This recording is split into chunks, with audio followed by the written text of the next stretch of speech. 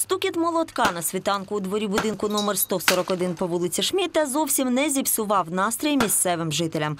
Навпаки, люди нарешті дочекалися довгоочікуваного благоустрою. Тут робочі міняють лавочки, які простояли понад півстоліття на новенькі. Хочеться нам вийти, посидіти культурно на хороших лавочках. Верталася до фонду Надежда. Зробили нам. Спасибо. Дочекалися покращення і жителі мікрорайону Шахтарський, де мешканці роками просили відремонтувати вхід у під'їзди. Состояние было очень критическое, постоянно были глубокие дырки, в очень таком плачевном состоянии. Наши детки постоянно падали. Маляри штукатури залатали всі дірки на сходах і тепер їх цементують.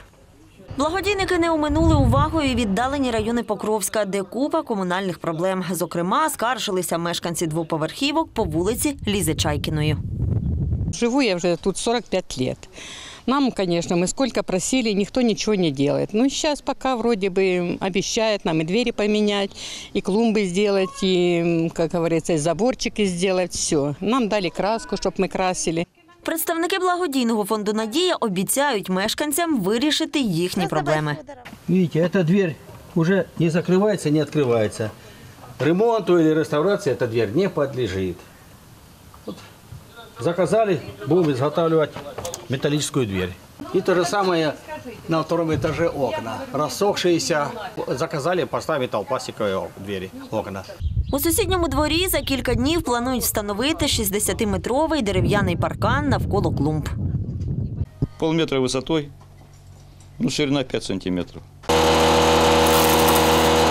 Благодійники також відреагували на прохання мешканців Новомиколаївки, які просили полагодити єдину у селі зупинку громадського транспорту. Люди під дощ, під сніг, е, хвилин по 20-30 стояли, чекаючи автобуса. Але ось ми звернулися в благодійний фонд Надія. Нам пішли на зустріч, нам допомогли. І у нас тепер буде нова, е, я думаю, дуже гарна зупинка Быстренько э, з- изготовили эту установку, каркас, заказали материалы и сделали.